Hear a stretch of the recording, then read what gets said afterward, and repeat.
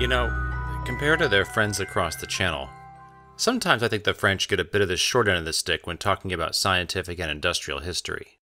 If you take a look, though, as we will here today, at the Musée des Arts et Métiers in Paris, I hope you'll agree with me that the French have plenty to be proud of and clearly were very innovative. The Musée des Arts et Métiers is home to an amazing collection of scientific instruments, machines, models, early machine tools, and so much more. Born in Revolution, its long history and role as a teaching institution repeatedly put it at the center of important moments in science and industry, and it has the oldest industrial and technological collection in the world. We'll take a look inside at some of the spectacular objects in the collections and the stories behind them. The Musée des Arts et Métiers, literally translated the Museum of Arts and Crafts, sits in Paris's third district, right at the city center. Now, I know what you're thinking. If you're a Yank like me and you hear arts and crafts, you're thinking maybe something you did as a kid. I think a more accurate translation for English speaking ears would be industrial arts and trades, but that doesn't even entirely do it justice. Calling what we see today a museum is fair, but it's really so much more. When it was originally founded, it wasn't a museum at all. Yeah, but we're getting a little ahead of ourselves. The French Revolution is a vast, complicated subject, but that's not going to stop me from grossly simplifying it. As the monarchy fell to an uprising of the people, there was an urgency to move away from the old ways. The Enlightenment had given the people a sense that maybe there were new possibilities to how to run their lives, and the two primary ruling classes in the way, the monarchy and the church, had to go. The king had an unfortunate parting of ways with his head, and the church suffered greatly as well. Long seen as a source of corruption, they were kicked out of their positions of power and had to forfeit their buildings and land. Many were executed for their abuses. The people who came to power next were keen to advance science and reason and new ways of thinking wherever they could. Very conveniently, this beautiful medieval monastery was suddenly going unused, and it was an opportunity to use it for France's new premier institute for science and industrial learning. From all over France, and even the world, scientific instruments, drawings, models, and full size machines of every kind were brought together to educate and lead France to a more industrialized and prosperous future. France was indeed lagging Britain in the most important industry, textiles, the first industry to be widely industrialized, so this was a matter of great national importance. France had long enjoyed a very noteworthy community of scientists of all kinds astronomers, navigators, physicists, agricultural scientists, and more. Additionally, skilled artisans like clockmakers, glass and ceramic workers, iron workers, and others made France famous the world over. And all that knowledge was brought here in order to serve as sort of a national scientific and industrial think tank. From here, it could be passed on to others and distributed throughout the country. Because of that history, this is not just a museum that was built upon objects collected for the purposes of creating a museum, but rather a museum that sprung from an incredibly rich collection that already existed from an institution designed for learning and teaching. And it got its start in 1794, so you can only imagine how rich the collections are. Parts of the museum are in portions of the original church completed as far back as 1135. To put 1135 into perspective, it would be 300 years before Leonardo da Vinci would be born. The same 300 years before Gutenberg would start printing books. Almost 650 years before the United States would declare independence.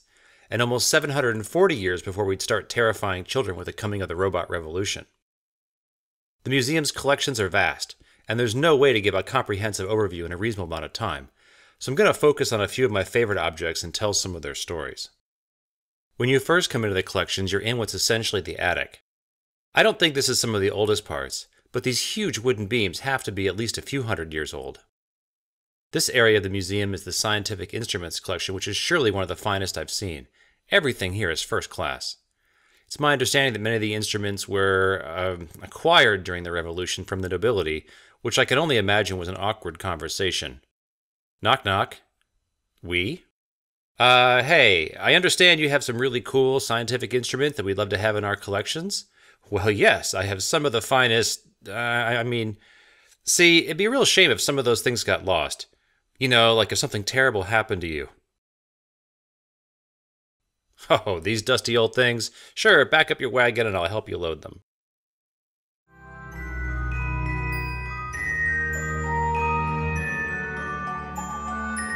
In the scientific instruments, the highlight for me are these mechanical calculators.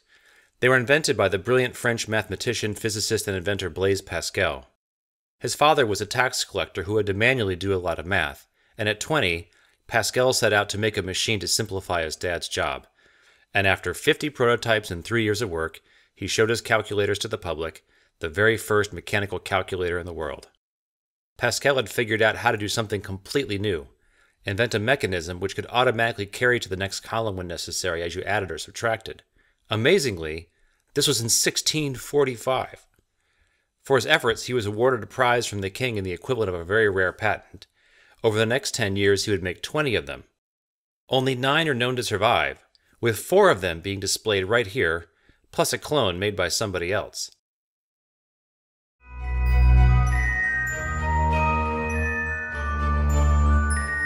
Today I'm not going to spend too much time talking about this cabinet, other than to say this is probably the most important few bits of metal and glass you've ever seen. The very first meter, kilogram, and liter. The distance, weight, and liquid measurement of almost everything around you can be traced directly back to these items, even if you measure in imperial units. If you watched my first video, which you totally should, you might have an idea why these are so important. I'm in awe just standing in front of them.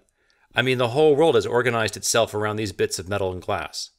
I have an upcoming video which will tell the astounding story of how these came to be.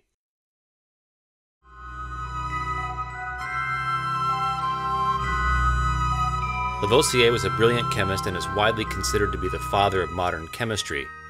His accomplishments are too long to list here in totality, but you might have heard about his discoveries oxygen or hydrogen, or that he figured out water is composed of these gases or how oxygen is an important component in combustion, or that he took the first stab at making something like a periodic table, or possibly his landmark achievement, showing how though matter may change form or shape, but its mass is always conserved. This completely changed how chemistry was understood and turned it into a quantitative science.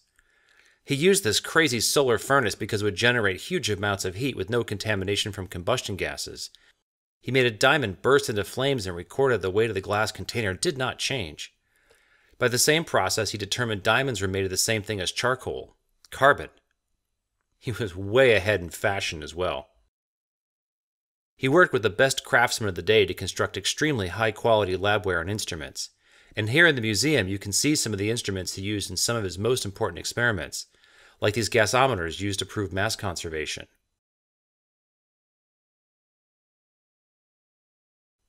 Lavoisier was part of the French nobility and involved in a tax farming company to collect taxes on behalf of the king. This netted him the funds to help him do his work, but did not make him very popular with some, even though he was working to try and make taxes more fair for the peasants.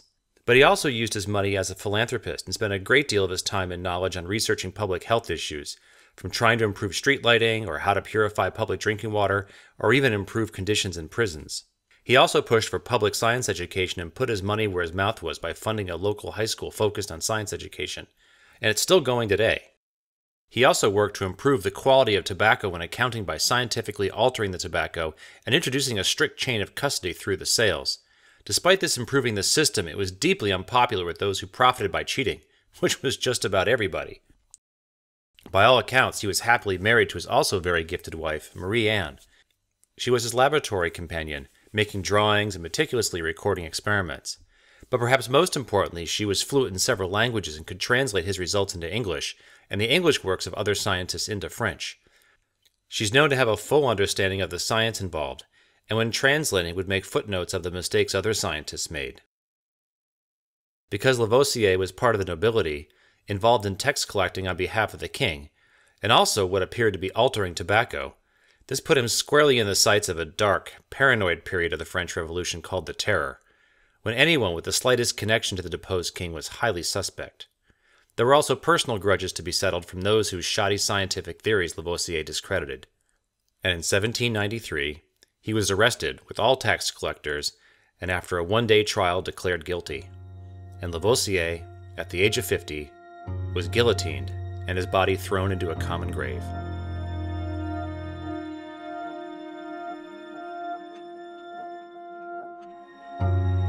Marie Anne's father was convicted of the same crime and killed the same day.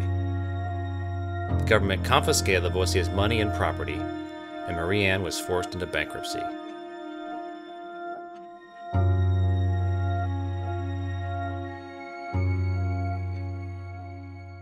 During the Revolution, one of his chemistry students fled to America. There he founded what is now the giant multi billion dollar chemical company we know as DuPont. In 1956, the DuPont company acquired about 500 pieces of Lavoisier's lab equipment and donated it here to the museum where we see it today.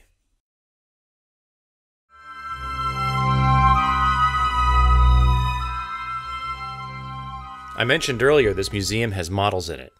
I want to stress that these models were not created for the museum, but rather as teaching devices and later historical models for the students who came through here.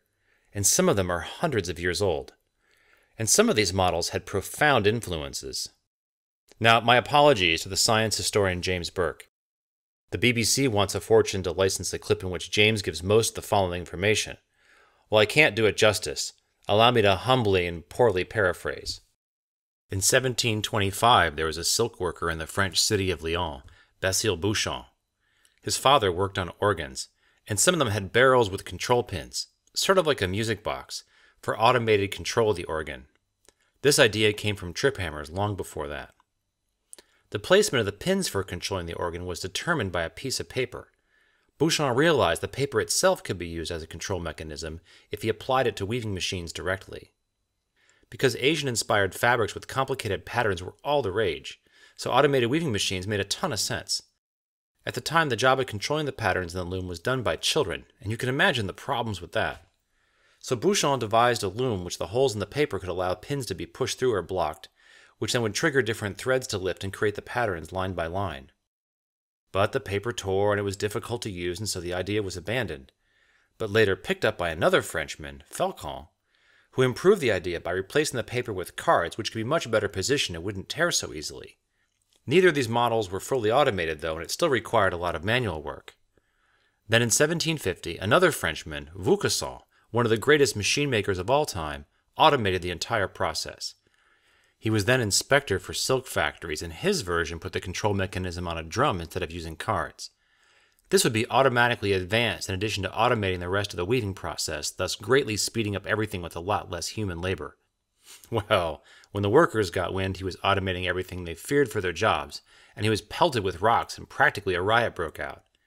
So he retaliated by building a fully automatic loom driven by a donkey. And his machine is beautiful, just look at it. For 1750, this is a fantastic marvel of mechanical engineering. The patterns it was able to make are beautiful, but because the drum could only have so many rows, it limited the complexity of the patterns. In the end, the workers won, and eventually Vaucanson's machines were moved here to the museum where they sat. Then, over 50 years later, in 1802, Napoleon placed a large order for silk from Lyon which couldn't be met without automation. Another Frenchman came here to the museum, studied the models, and put Falcon's cars together with Vaucanson's automation, and for that we know the machine by his name, the Jacquard loom. And wow, what a success that was! Suddenly, complex patterns were cheap and easy to make, which completely changed the textile industry. Well, not in France, because during the Revolution, fancy patterns were disdained. But in England, this was picked up, and soon they were everywhere printing paisley and other patterns far faster and cheaper than ever before. Later, an American would take this punch card idea apply it to electromechanical counting machines used to process the 1880 census, and that company would later become the core of the company we now know as IBM. In the next video in our visit to the Musée des Arts et Métiers, we'll cover more French innovation in science and industry. There's more amazing objects and stories to come. I can't wait to share them with you. I'll see you next time.